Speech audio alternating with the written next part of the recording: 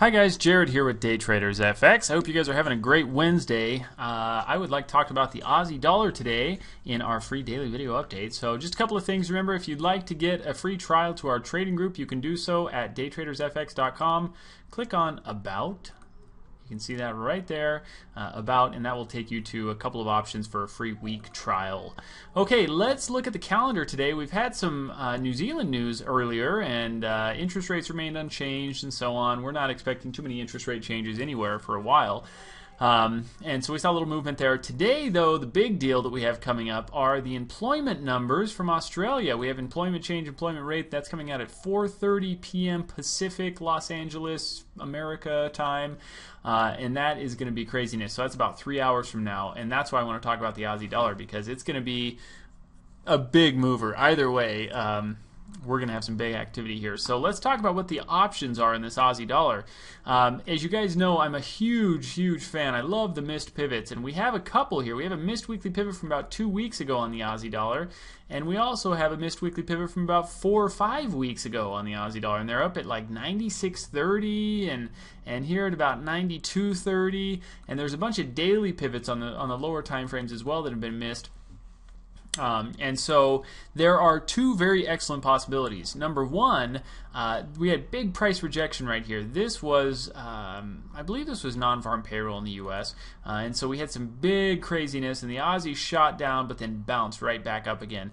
Uh, and so we have a very strong candle that's been holding so far uh, since that happened. We're, we're several uh, days now into that low being rejected and that support holding, and that's right about the 90 level. It's just slightly below 89, 98 uh, or excuse me, 89, uh, 89, so about 89, 90.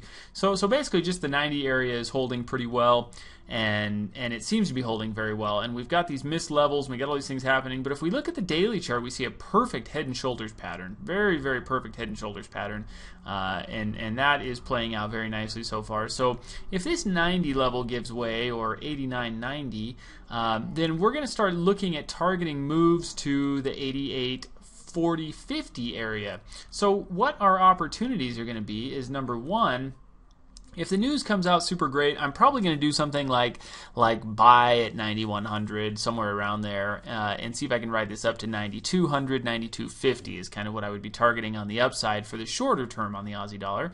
If it breaks the low with the news, if the news is really bad and, and the job numbers look really bad, I would probably just sell the break of that uh, 90 level and, and target uh, somewhere down there in the 8950, even 8900 because we know that we have a pretty big level uh, down here at uh, 88.50. So we should be able to get you know 50 to 100 pips on either side of movement. If it gets above uh, 9100, we should be able to see that get to about 9200. And if it gets below excuse me, 90, then we should be able to see it get down to, you know, probably 8,900 fairly easily. Uh, we don't have too much uh, resistance in the way on either side. So I think that's going to be a great little opportunity.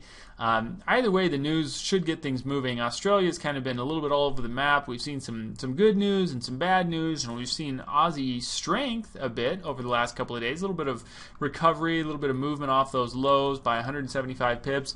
Uh, but then we still have the uh, Central Bank of Australia saying that things are going to get a little crazy as far as uh, if they need to intervene and bring the currency level down uh, or the currency price down, they will. Uh, and so that's definitely weighing on the Aussie dollar. So there's just a lot of things happening here that make us uh, a little cautious, a little careful um, on on really what direction we go, and that's why I think it's going to be kind of all about getting out of this range. So 9100 above 9100, I think we're going to have some decent bullish movement. Below 90, I think we'll have some good bearish movement.